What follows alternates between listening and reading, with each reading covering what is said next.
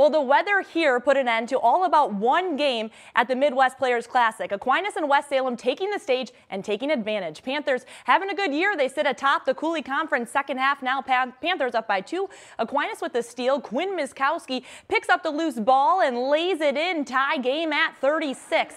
The Panthers are back up by three and Jack Healy three-pointer extends the lead to 48-42. Blugold's trailing by two. With time running out, Gavin Wetzel bodies his way inside side, ties it at 48 to send it to overtime. Aquinas back down two and OT, and Joseph Savodelli puts it up and in, ties it at 52. So double overtime. Here we go. Panthers CJ McConkey finishing in the lane to take the lead. Blugolds down by one here. Savodelli in the corner hits a big time three to take the lead 57-56. Aquinas wins in double OT 61-56.